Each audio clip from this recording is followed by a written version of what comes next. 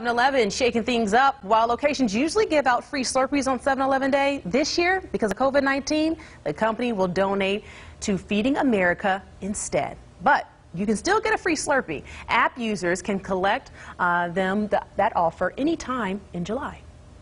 Well, see, they got you. You got to download the app first. But, you know, for a free Slurpee, I might do it.